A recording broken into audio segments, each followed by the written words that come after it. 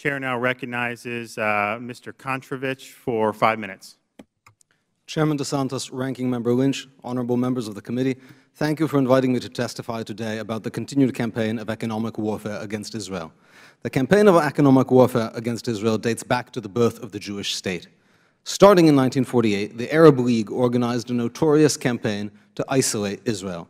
Not only did they block any economic ties between themselves and Israel, they pressured companies in third countries to also boycott Israel.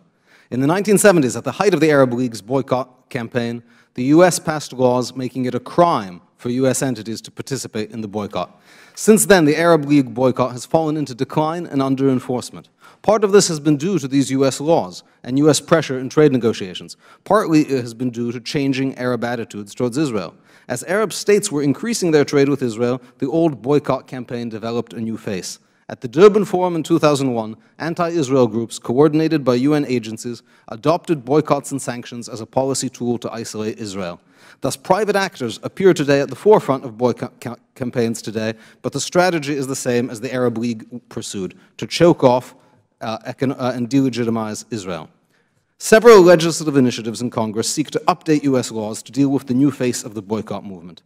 Part of this legislation has passed in the TPA, and another important part, contained in H.R. 1907, is currently in conference.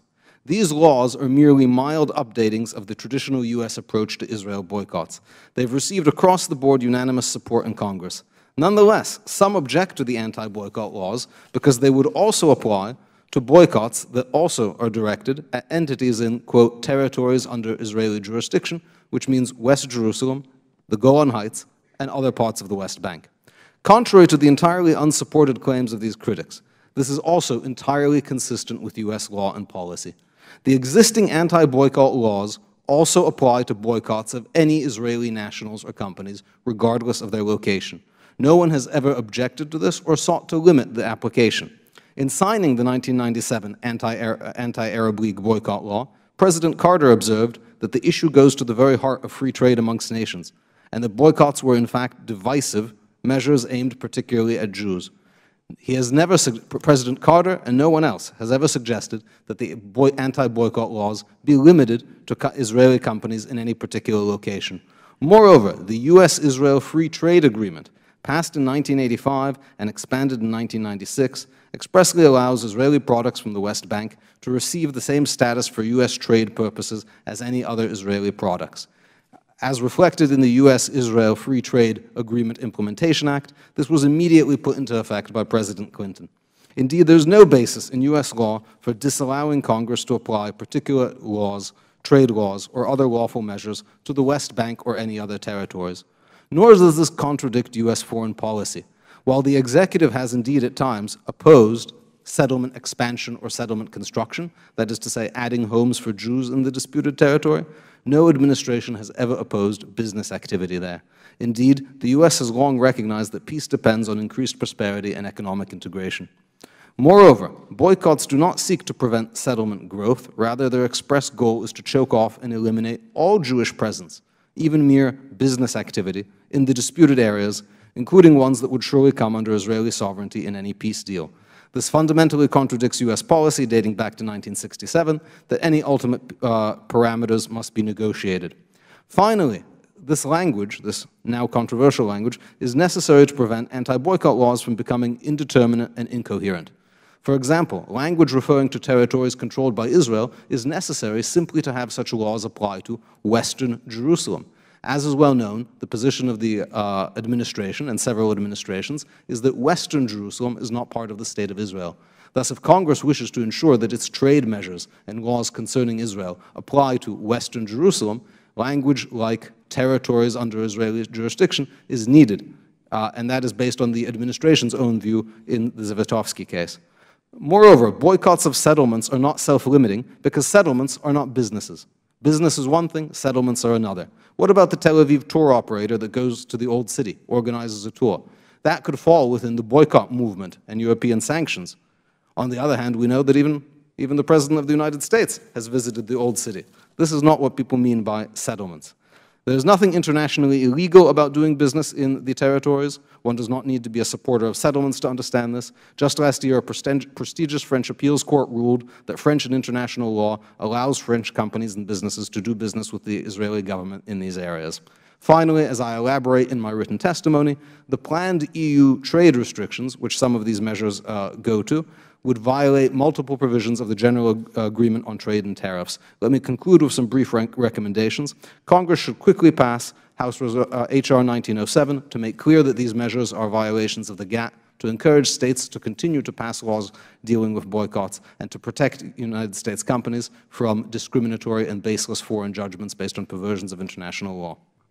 Professor uh, Kontorovich, uh, I think that you, you and Mr. Duss have a disagreement about longstanding U.S. policy, particularly this TPA provision.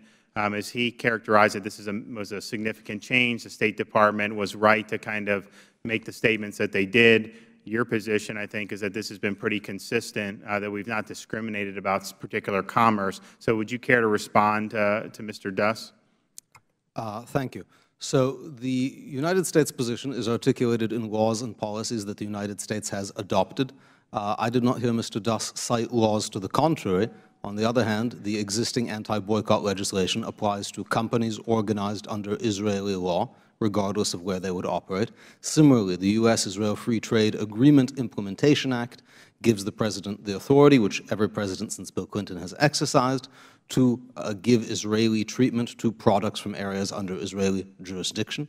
Thus, every existing U.S. law on the subject has extended Israeli national treatment to these areas.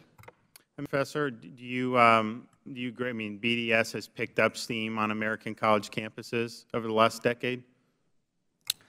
It does seem to be attracting more press attention, but one needs to also differentiate between college activity and the activity in the European Union, which is actually probably the most threatening. In college, there's often lots of tumult that does not amount to much. That's been an increase but in the, attention in the European the, capitals, the, correct? Yes. I, I, would, I would like to offer uh, one clarification about the State Department statement about the TPA.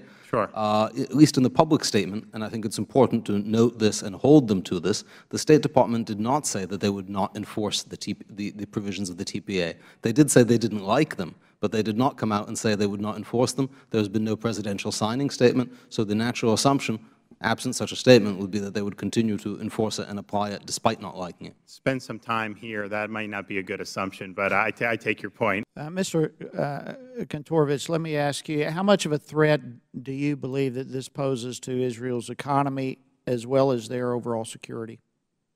The larger threat to Israel's economy and security comes from the planned measures, uh, the discussed measures of the European Commission, which are being encouraged by BDS groups. Uh, in the long run, I think they uh, pose a, a, real threat uh, to both Israel and the viability of a two-state solution. Like Mr. Dubowitz, I would like to echo that this has a particularly strong impact on the United States. What the European Union is trying to do is to use trade, trade restrictions, and discriminatory trade restrictions as a tool of foreign relations. The central pillar of the GATT and World Trade Organization trading system, which the U.S. is the biggest proponent of, is to separate trade policy from foreign policy disputes by allowing for discriminatory, targeted, non-most favored nation treatment of Israel, it would set a precedent that would have significant impacts for a major, major trading country like the United States. Maybe Professor uh, Kontorovich, uh, the BDS, are they trying to boycott regimes like Iran or the Castro brothers or North Korea as well? Not only are there not such measures against other country, uh, against countries with massive human rights violations and breaches of international law, I think what's important to note is even at the level of the European Union, forget the NGOs of the BDS movement for, for, for a second, even at the European level, the rules that they're seeking to impose against Israel they're not imposing even on other areas and situations where they believe there are settlements and a military occupation. Take Western Sahara, for example. The European Union, like the rest of the world, recognizes that it is occupied by Morocco. The majority of the population there are settlers. On the other hand, uh, under European law, uh, Moroccan produce from Western Sahara is labeled made in Morocco when imported in the European Union. When asked about this, European officials have said that's completely consistent with European law.